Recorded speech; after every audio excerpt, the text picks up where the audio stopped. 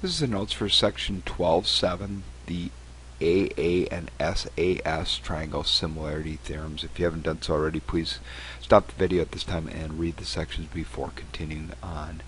Um, so in, in 12.6 we established that uh, SSS or side side side was a triangle similarity theorem and when we did that we said that if all three sides were proportional if in other words if the ratio between all three sides that corresponded with each other were the same then we could say that those triangles had to be similar to each other. Well we're gonna we're gonna look at two more today. Uh, the first one is the angle angle similarity theorem. And that just says that if two angles of one triangle are congruent to two angles of another then the triangles are similar. A couple things that I want to kind of just highlight from that statement. Um, we're talking about congruent. Remember, when we're similar triangles, the angles are congruent. Notice how I didn't need three. I only needed two angles because in a triangle, if we know two angles, we automatically know the third angle. So by knowing that we have two angles that are congruent, we actually know that all three angles are congruent because whatever the the third one would have to be the same in both triangles because we could subtract the other two from 180.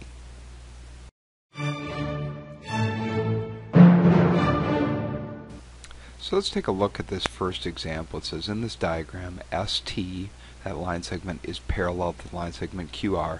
Name the theorem that proves that the pair of triangles are similar and provide a similarity statement. So let's do that. So there's two things that I need to do. I need to name uh, name the theorem that says that they're similar and I need to provide a similarity statement. So we, got, we want to do both of those. Now to do that, I have to kind of first establish um, a, a few things.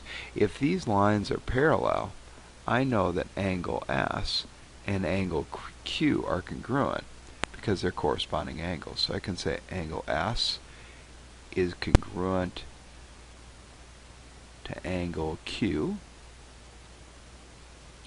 because they're corresponding angles.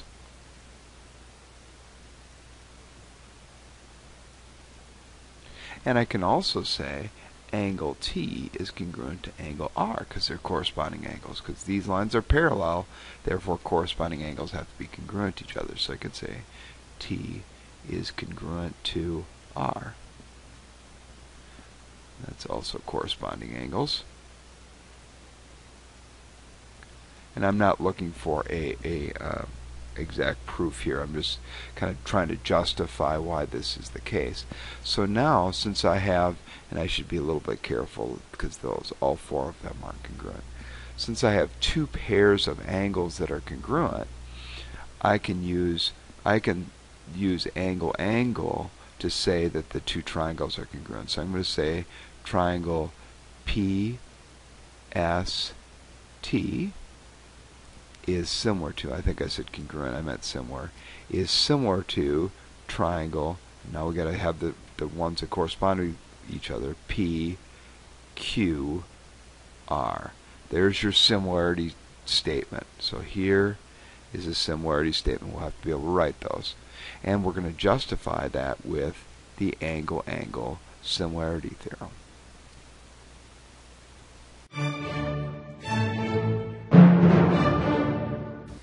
So let's take a look at the second example then. It says it is reported that a giant redwood tree casts a shadow that is 21 meters long at the same time that a vertical pole 400 centimeters tall casts a shadow that is 90 centimeters long. How tall was the tree? Okay, so some key things here is that this occurs at the same time. And when we think about shadows, if if they're if they're happening at the same time, that means that the angle that the sun makes with the ground has to be the same for both of them.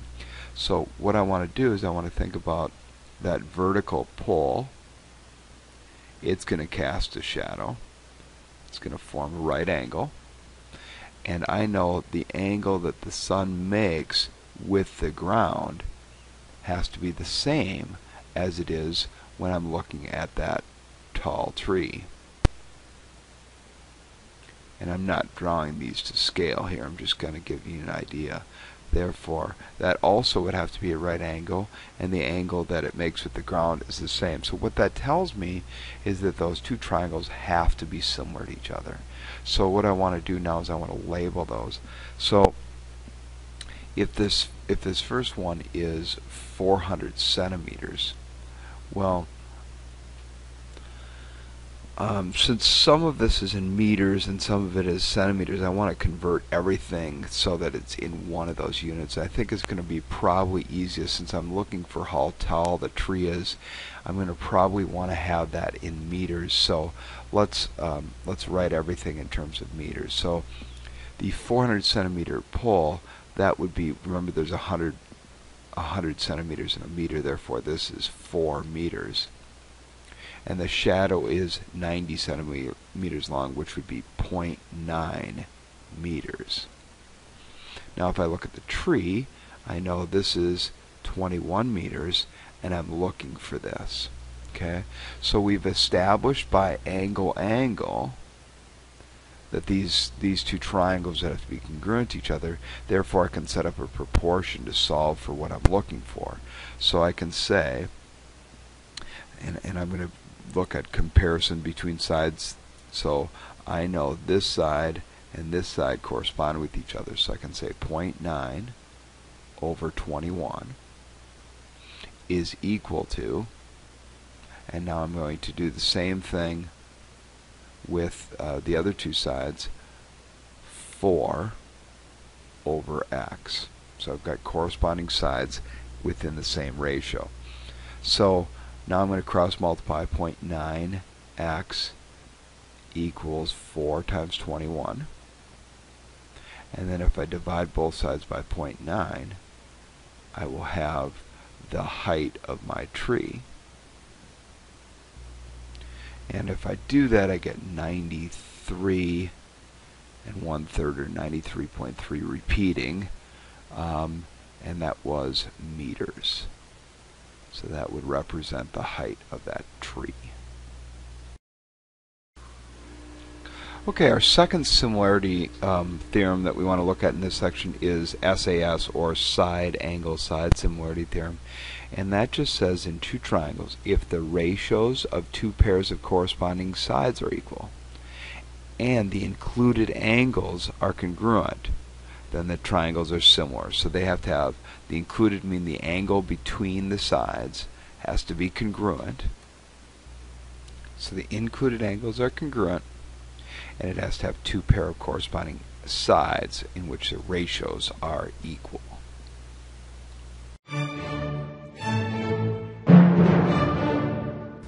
So let's take a look at this next example then. It says if two triangles are congruent, give a similarity statement and a similarity theorem that justifies your conclusion. So we want to determine if the two triangles shown here are congruent. So we're looking at the two triangles that we're looking at here are triangle ABC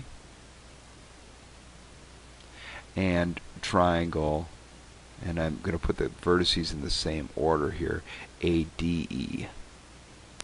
So if they're congruent that the, the vertices that I have lined up would, would be the ones that would have to correspond with each other. Well, what that tells me right away is that we know that their angle A's have to be congruent to each other because they're the exact same angle. So what we want to do now is see if we can use the side angle side similarity theorem uh, to, to prove that they are congruent. And, and to do that, I'm, I'm going to look at the, the ratios between corresponding sides. Therefore, if I look at AB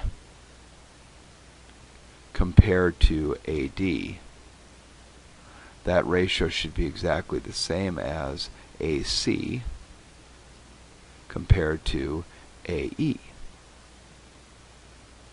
Okay.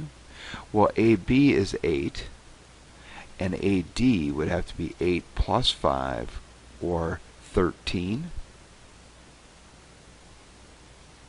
And then I'm going to look at AC which is 6 compared to AE which would be 9.75.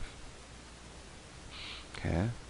So if I cross multiply there I have 13 times 6 it would have to be if if they are um, similar to each other, that would have to be equal to 8 times 9.75. So if I multiply both of those out, I know that they are both equal to 78. Therefore, I can make the statement that triangle ABC is similar to triangle ADE and I can use side angle side to justify that statement.